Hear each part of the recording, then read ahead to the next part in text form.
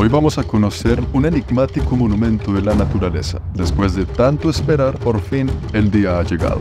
Son las 5 y media de la mañana. Estamos en la ciudad de Caracas. Me está esperando un servicio de transporte abajo del hotel. Estoy listo, estoy preparado. Hoy vamos a conocer a un grande. Vamos pues.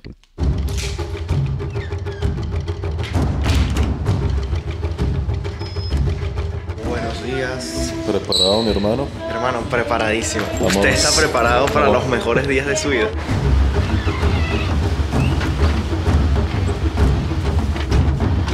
Aeropuerto de Caracas. Nos volvemos a encontrar. Gracias. Esto nunca me había pasado. Voy a ser el primero en entrar a un avión. Buenos días. Buenos días. Wow, vean, el avión está completamente desocupado. Esto empieza bien. Mi hijo lo estaba emocionado, estoy emocionado. Esa es mi silla. Nos fuimos. Y en este lindo pajarraco nos espera una hora y diez de vuelo.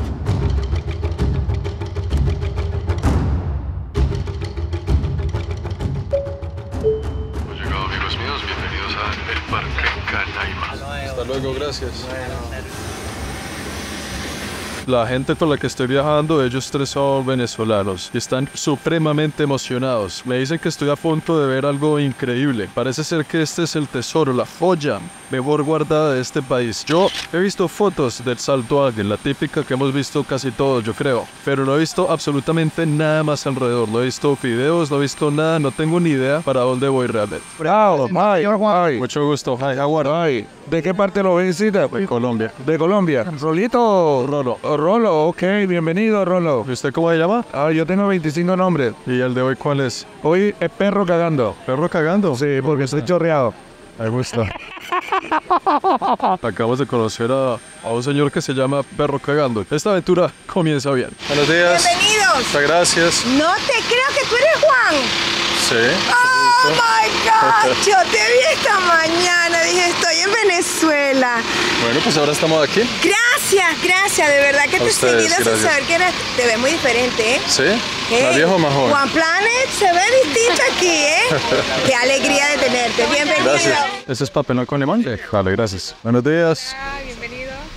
Muchas gracias. Wow, qué gentileza. Esto es con todos los juguetes. Uno va llegando, ya tiene bebida, tiene collar y una vista increíble que les voy a mostrar en unos segundos. Usted cuando viene aquí tiene un par de opciones. Yo escogí una que se llama Waku. Waku es una especie de campamento, pero es una cosa alucinante. Yo nunca he visto algo así en mi vida y acabamos de llegar porque vea lo que tenemos aquí. Esta es la laguna de Canaima. Y vea cómo usted se puede sentar cómodamente en cualquiera de estas sillas en cualquiera de estos lugares. Aquí tenemos unas hamacas, varios sitios para sentarse y acomodarse con mucho confort al mismo tiempo que estamos dentro de esta selva. Esto es realmente muy bonito. Qué locura. Acabo de llegar, eso es lo primero que veo. No me imagino cómo será después. Creo que vamos a tomar esta gran balsa y nos vamos a meter bien para adentro. Pero yo, si esto es el comienzo, yo no quiero imaginarme lo que se viene. Y sin mentir, acabo de llegar, acabo de verlo y se me erizó la piel. Está muy bonito. Muy bonito. Y el paisaje aquí está lleno de esas gigantes mesetas que se ven así de, de fondo. En el avión cuando estamos aterrizando, puras mesetas así una tras otra, pero enormes. Vamos a explorarlas más adelante. Esto es demasiado para mis ojos. Vamos a desayunar porque apenas usted aterriza de nosotros, hoy nos tocó comenzar la aventura de una. Desayuno y arrancamos. El mega desayuno, ¿no? La medio bobadita. Hay que comer harto y estar con energía porque viene una exigencia de alto nivel. Después de desayunar, tenemos que alistar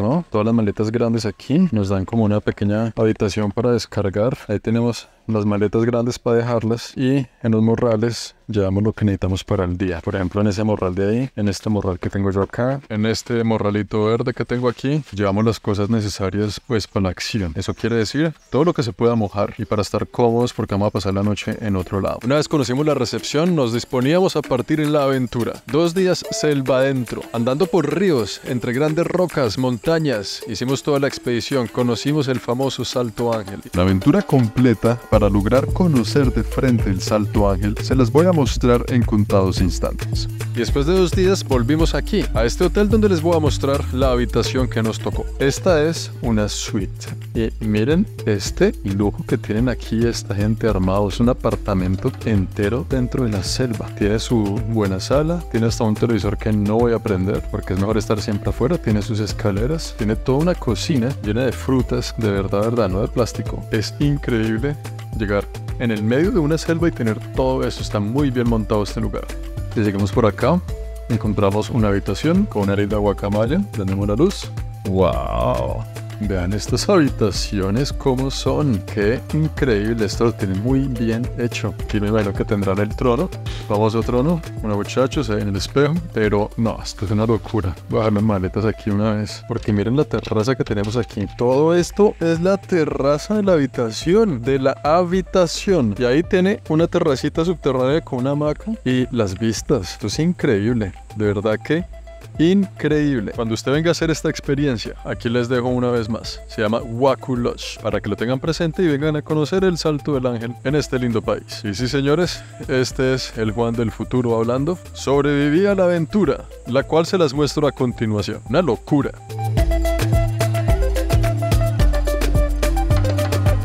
Estamos ya llegando al sitio en donde vamos a tomar una lancha para avanzar, pero la vista desde aquí es increíble. Y justo aquí es a donde tenemos que ir. Ya llegamos. En esta nos vamos. Pero véase, vea esa alucinación. ¿Qué tal esas super gigantes mesetas que están en el fondo, no? Esas son algunas de las miles que rodean este parque. Vamos a ver muchas más, pero aquí comienza entonces nuestro recorrido. 70 kilómetros de lancha nos esperan. Río adentro. Los venezolanos, por alguna razón que no entiendo, le dicen a las lanchas curiara. Vamos a empezar con los nombres.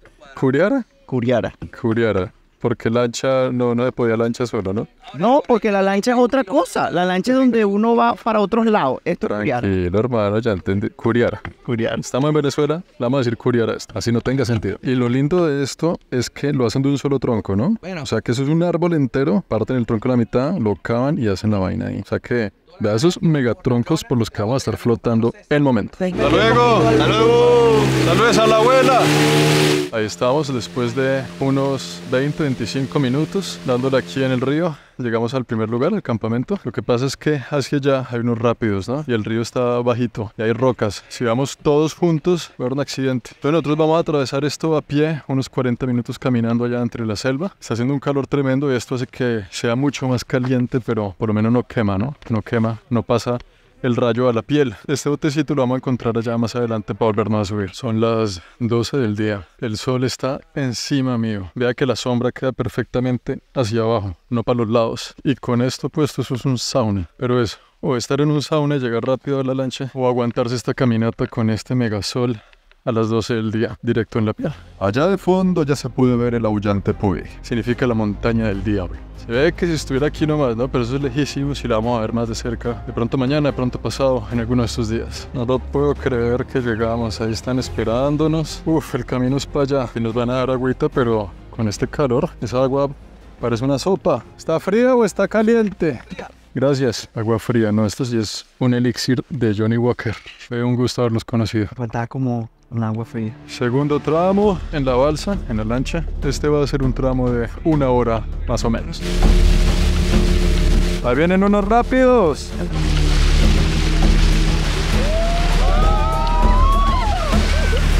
Estamos a punto de pasar una zona complicada porque son los rápidos. Vean cómo está el caudal del agua, está lleno de piedras. Los navegantes que son los expertos, allá el chico de naranja, es el que conoce bien la ruta para no estrellar la lancha y que pues no se voltee y lleguemos al otro lado secos.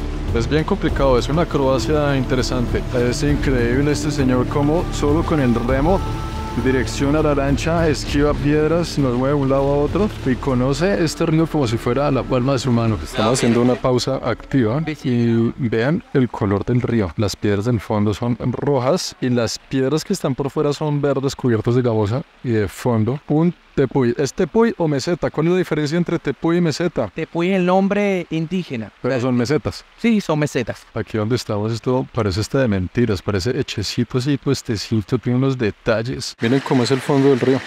Se puede ver con un color bastante rojo. Y por encima unas piedras que están cubiertas de gamuza redondas, verdes. Y allá de fondo esa figura de esa meseta increíble, diciéndonos que ya casi llegamos. Es la primera piscina natural a la que nos traen. Con el calor que hace afuera, aquí está muy frío. Yo soy muy gallina para el frío, pero muy pocas veces se está en este lugar.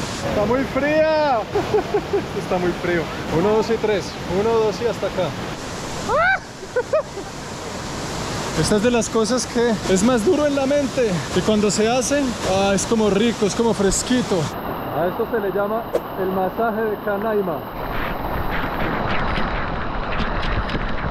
Media horita aquí y continuamos el recorrido. Después de tres horas y media de recorrido en una balsa, pasando por caminos bien estrechos, entre gigantes rocas, atravesando algunos pasajes donde el río no estaba muy profundo y nuestro bote chocaba con las rocas. Las personas que vinieron con nosotros hicieron un gran esfuerzo para poder llegar aquí, a esta cabañita donde nos despertamos el día de hoy, el día número 2, justo enfrente de ese gigante que no se ve muy bien por la neblina, que está allá escondido detrás de la nube, la razón por la cual vinimos hasta acá. Ese es, amigos míos, el famoso Salto Ángel, una obra maestra de la naturaleza. Vamos a desayunar aquí en este campamento, vamos a preparar, vamos a atravesar la selva de alguna forma para poder estar un poquito más cerca y verlo, esperando que de aquí allá la neblina haya bajado. Y así lucen los campamentos. Venga, les muestro un poquito cómo es esta experiencia. Este campamento hace parte también de la misma gente de Huacú. Así que si usted viene con Waku, como lo estoy haciendo yo, todo esto hace parte de la misma experiencia. El ticket de avión, la llegada al primer lugar donde conocimos con esa gran vista, todo el transporte en el bote, en el barco, todas las comidas, todo, todo incluyendo esto de aquí. Anoche dormimos en esas hamacas. Yo soy muy malo para dormir en hamaca, pero están bien grandes, bien cómodas. Usted tiene que dormir diagonal. Que ha dormido en hamaca sabe cómo es la vuelta. Aquí teníamos ese espacio para las hamacas que está por detrás y aquí tenemos este espacio también donde hay otras hamacas y está el comedor. Los chicos están desayunando tenemos la barra del desayuno,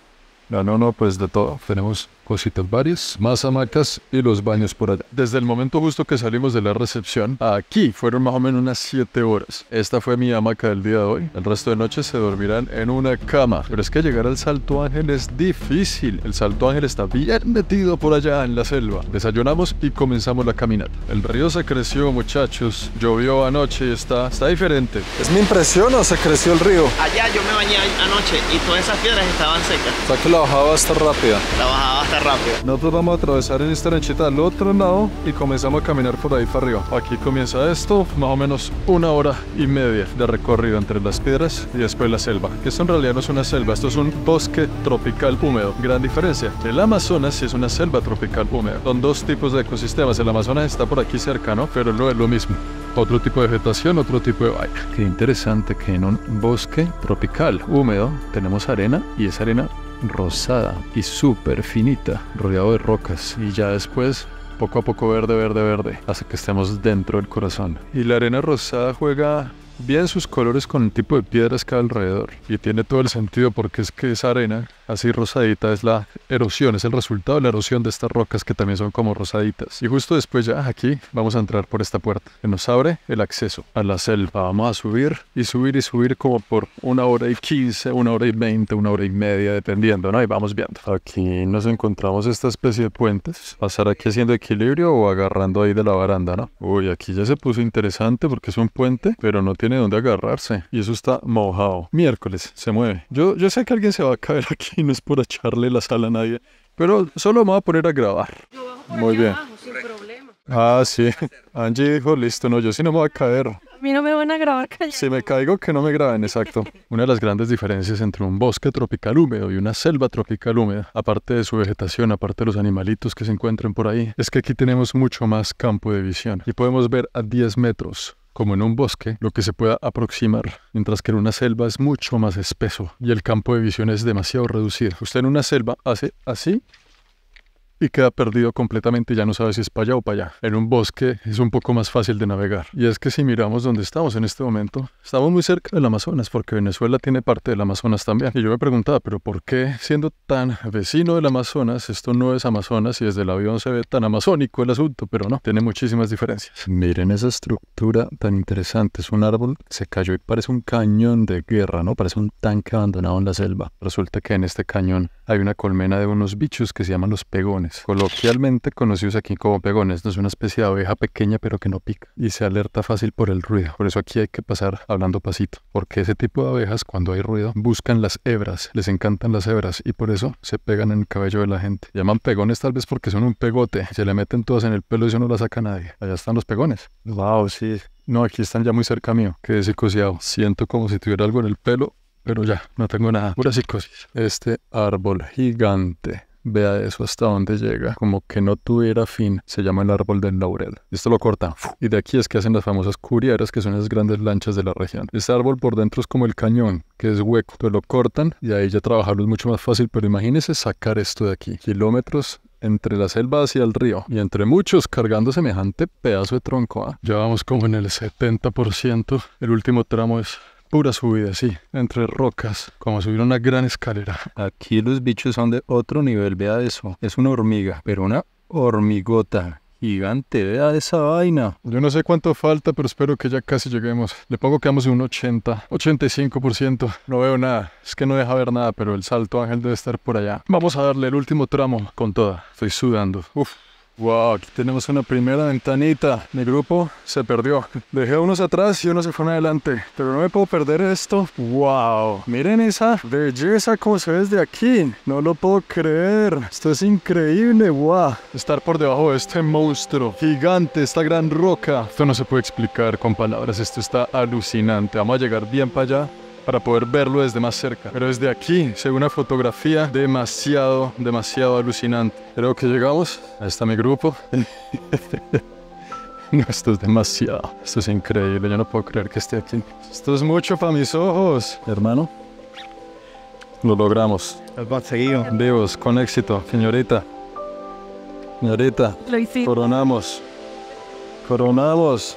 Veanlo de frente. Llega uno a esta gran roca que es como una terraza que nos da la naturaleza, porque vea que es puro verde, puro verde, pero aquí hay una roca justo enfrente, como un observador, como si la montaña, la naturaleza dijera, háganse aquí, ahí les dejo una superficie para que me admiren. Es supremamente alta, ¿no? De hecho, se dice que esta es la caída de agua más alta del mundo, que está en constante, constante movimiento. Por ahí dicen que hay unas calles que son más altas todavía. Pero es que esto es una cascada que está el año entero bajando agua. Como se dieron cuenta en este parque, estamos rodeados de grandes mesetas, pero grandes gigantes mesetas. Esta es una de ellas. De hecho, el Salto Ángel viene de una gran meseta. Esto es un mega monstruo gigante de meseta. Y allá arriba hay unos humedales que están constantemente hidratando la cima de la meseta haciendo que caiga agua, dándonos este increíble paisaje. Entonces resulta que en estas tierras hubo varias comunidades indígenas que venían para establecer su sociedad. Entre esos, tres grandes e importantes de Venezuela, llamadas los Arecuna, los Camaracoto y los Taurepán. Esos tres vinieron con sus propias creencias y entre los tres armaron una nueva gran comunidad que son los que viven hoy en día en este parque llamada los Pemón. Ellos heredaron muchas de las costumbres y creencias de sus antepasados